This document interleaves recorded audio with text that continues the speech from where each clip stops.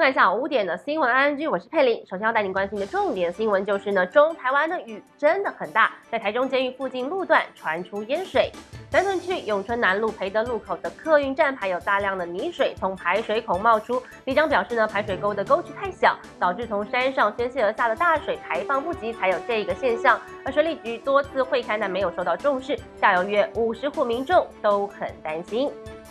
而受到滞留封面影响，各地都降下大雨，水利署下午发布了淹水警戒，台中市是二级警戒，目前呢累计的日雨量，后里、大安跟神冈地区都已经超过了一百三十毫米。大甲区呢，今天下起了好几波阵雨，而先前夺命的民生地下道积水也达十五公分，拉起了封锁线。在行人地下道也发生积水，亮起警示灯，提醒民众禁止通行。也是意外，北高高南下八十一公里关西路段发生了死亡车祸，一辆工程车遭到拖板车撞击，一名五十五岁的工人被抛了出去十多公尺，当场失去了生命迹象。另外，拖板车与工程车驾驶呢送竹北东园医院急救，初步呢排除酒驾。好，告诉你的是，台北市长参选人连胜文，因为周玉蔻在政论节目中呢，指他曾经到大陆帮胖达人面包店站台，提告求偿五百万元及登报道歉。台北地院呢下午开庭，周一蔻承认一时口误。连胜文虽然在台湾有帮胖达人站台，但没有去大陆，他愿意收回在大陆也有这句话。而连胜文律师呢，则是当庭撤回告诉。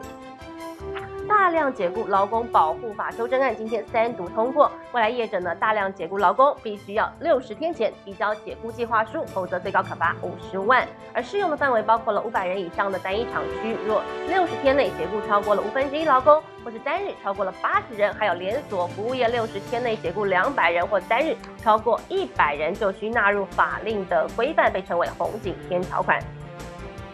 立法院下午三读通过了强制执行法修正案，将凶宅列为法拍屋，需要明确揭露事项。未来法院呢查封不动产时，笔录要载明相关资讯，像是海沙屋、辐射物、漏水或是建筑物内有非自然死亡都算在内。好，带您关心的是，经济部今天公布了四月的外销统计，金额是三百八十八点七亿美元，比三月增加了百分之二点四，也比去年同月成长了百分之八点九。累计今年一到四月外销订单一千四百三十六点二亿美金，年增率是百分之四点三。经济部表示呢，显示四月外销订单表现，除了精密仪器负成长外，其他主要接单的货品都是正成长。日本廉价航空乐桃今天宣布，因为驾驶不够担心影响飞行品质，所以将会取消七八月共八百九十四架次的航班。我是泰利，感谢您的收看。